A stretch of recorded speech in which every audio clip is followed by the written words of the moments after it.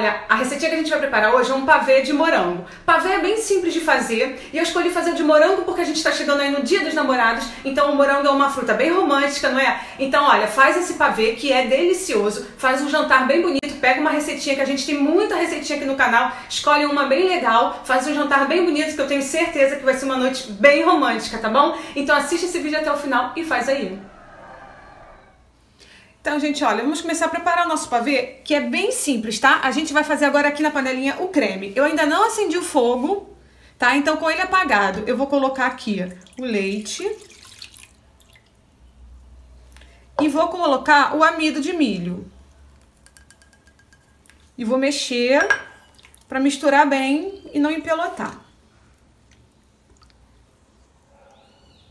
Dissolvi o amido de milho, agora eu vou ligar o fogo, vou botar no fogo baixo, tá? Porque é sempre melhor pra gente fazer esse creme, não ter perigo dele queimar. Colar no fundo do, da panela. Aí aqui agora, ó, eu vou colocar as duas gemas, que eu vou peneirar, tá? Pra tirar essa, essa pelezinha, essa película. Vou só furar e vou deixar ela passar.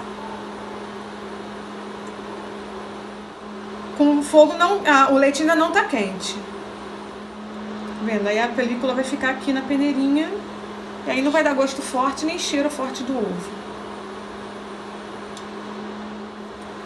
Aí agora eu vou colocar o leite condensado.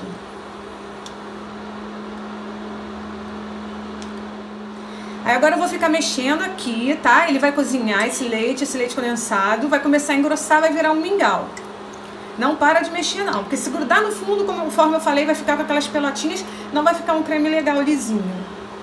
Tá? Então eu vou ficar mexendo aqui até virar um mingau. Então, ó, ele tá começando a engrossar, tá vendo, ó? Aí agora eu vou colocar o creme de leite.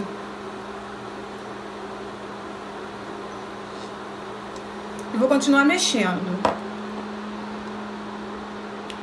Até ele virar um creme bem grossinho.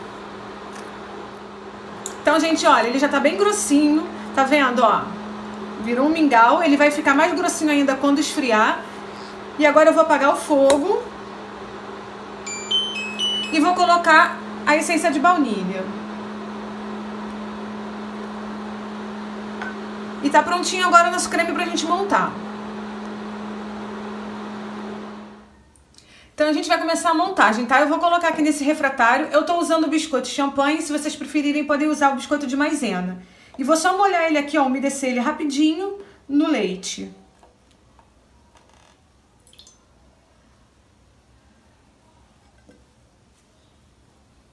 Vou forrar todo o fundo do refratário com o biscoito umedecido.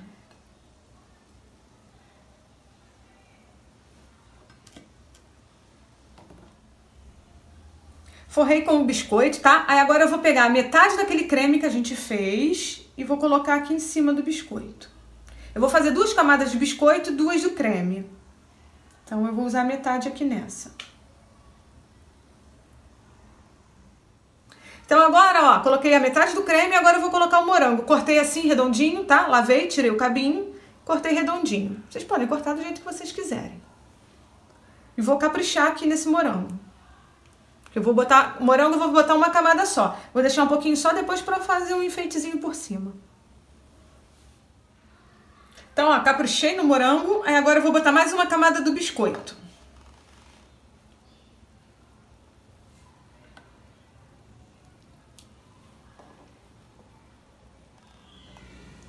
E agora, ó, vou finalizar com o restante do creme.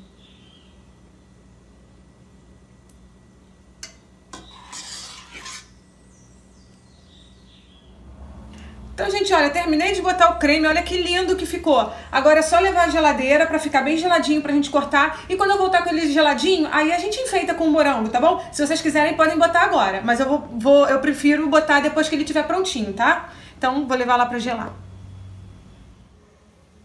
Então, gente, olha, acabei de tirar da geladeira, tá bem geladinho. Então agora, ó, se vocês quiserem, vocês podem botar raspa de chocolate, chocolate branco, vai ficar uma delícia. Podem botar granulado, o que vocês quiserem. Mas como a gente já está na semana do Dia dos Namorados, eu, olha, fiz uns coraçõezinhos com morango e vou enfeitar assim, tá? Então, ó, você tem uma sobremesa fácil e deliciosa para você servir pro seu love. Então, ó, nosso pavê tá prontinho, delicioso, tá bom? Gente, espero que vocês tenham gostado. Qualquer dúvida vocês deixem aqui embaixo que a gente responde, tá bom? Não esquece de deixar um gostei, de compartilhar com os amigos, tá bom? Para eles fazerem também. Faz aí pro namorado, tira foto, me manda lá no Instagram, tá bom? Marca nosso canal Cooktop Brasil e até o próximo vídeo.